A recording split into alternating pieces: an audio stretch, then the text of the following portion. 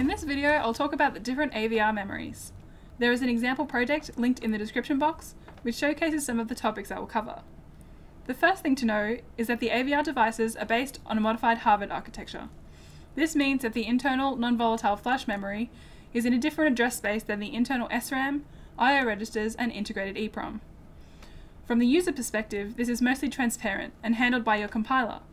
But in the case where the user stores constant data in the flash, some special considerations are needed.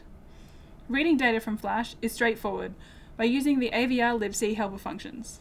These are basically wrapper functions which call the load program memory instruction. This will work with all versions of GCC.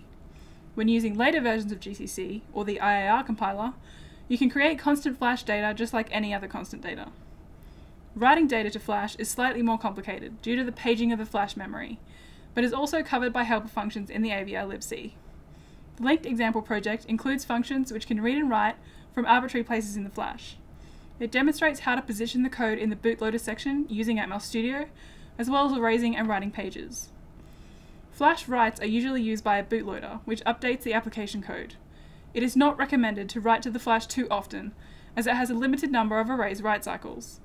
If you have data that needs to be updated often, it's better to use the EEPROM if this is available on your device. The EEPROM is more convenient, as it's byte addressable, and will handle more write cycles.